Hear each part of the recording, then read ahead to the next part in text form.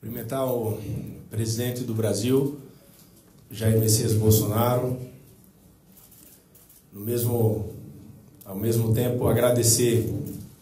pelo convite de ser ministro das Comunicações, de ter recriado o Ministério das Comunicações e que hoje, presidente, é o dia mais importante da minha vida pública, dia 21 de novembro de 2021 agradecer a Deus, agradecer ao Senhor pelo convite, por esse dia tão especial que a gente vai mudar a vida dos brasileiros.